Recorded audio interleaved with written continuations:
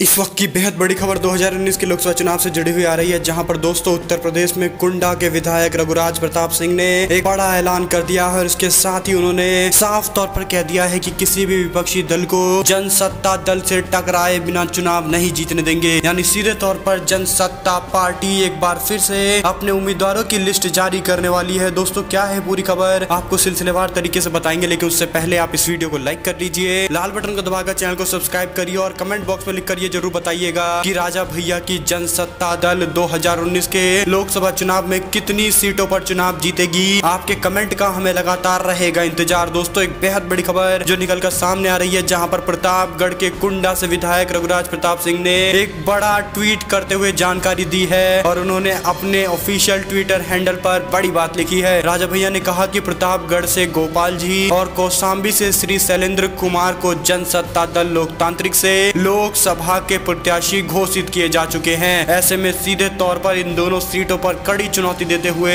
राजा भैया समाजवादी पार्टी को नज़र आ रहे हैं। उसके साथ में बसपा और समाजवादी पार्टी के लिए मुश्किलें बढ़ाते हुए राजा भैया नज़र आ रहे हैं और सीधे तौर पर एक बड़ा ऐलान करते हुए राजा भैया के ट्विटर हैंडल से लिखा गया है कि शीघ्र ही छह अन्य लोकसभा से सभी प्रत्याशियों की घोषणा की जाएगी। यानी कुल मिलाकर आठ सीटों पर अभी तक प्रत्याशियों की घोषणा की बात आगे निकलकर सामने आई है। हम आपको बता दें कि राजा भैया 2019 के लोकसभा चुनाव में पहली बार अपनी पार्टी बनाकर चुनाव लड़ने आ रहे हैं और उनके चुनाव चिन्ह फुटबॉल खेलता हुआ एक व्यक्ति है। ऐसे में दोस्तों, राजा भैया को लेकर जिस तरह से लोकप्रियता 2019 के लोकसभा चुनाव से बढ़ रही है और प्रतापगढ़ के साथ साथ कौशाम्बी और प्रतापगढ़ के अंदर राजा भैया की बढ़ती लोकप्रियता साफ़ साफ़ इस बात के संकेत दे रही है कि 2019 के लोकसभा चुनाव में एक बड़ा परिवर्तन जनसत्ता दल ला सकता है। अगर आपका भी ऐसा मानना है कि छह अन्य प्रत्याशियों की घोषणा करने के बाद विपक्षी पार्टियों की बेहद ज़्यादा मुश्किलें बढ़ेंगी। तो आप इस वीडियो को अपने लोगों तक शेयर करिए। कमेंट बॉक्स में लिखकर आप बता सकते हैं कि राजा भैया को 2019 के लोकसभा चुनाव में कितनी सीटें जीतने को मिलेगी। इसके साथ ही दोस्तों, आपके कमेंट का हमें लगातार रहता है इंतज़ार और आप लगातार हमारे साथ बने रहिए। हम आपको पल पल की उत्तर प्रदेश से जुड़ी हुई सारी अपडेट यहाँ पर लाकर देते रहेंगे।